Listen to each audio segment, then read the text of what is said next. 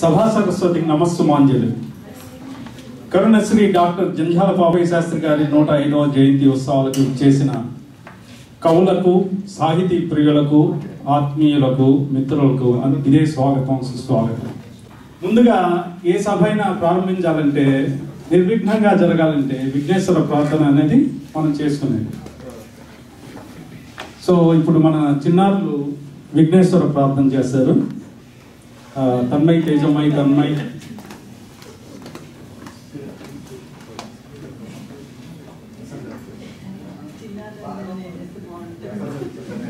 చిన్నారులు పెద్దలు కూడా. రండి శ్రీనివాస్ రాధిక.